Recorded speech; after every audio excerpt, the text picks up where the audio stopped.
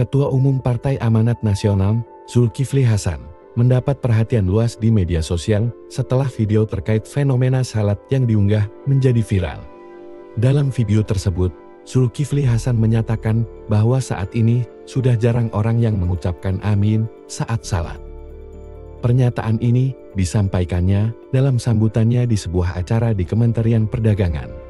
Sejumlah netizen menilai pernyataan Zulkifli Hasan sebagai sindiran atau pengolok-olok terhadap sholat. Selain itu, Zulkifli Hasan juga menyebut bahwa tidak ada lagi orang yang menunjuk satu jari saat tahiyat akhir sebagai tanda cinta kepada calon presiden nomor urut 2.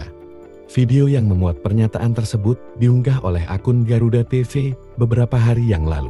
Jadi kalau sholat maghrib baca Al-Fatihah waladolin ada yang diem sekarang Pak. Ada yang diem sekarang. Ada Pak sekarang diem. Loh kok enggak ada. Ada yang diem sekarang banyak. Saking cintanya sama Pak Prabowo itu. Ya kan?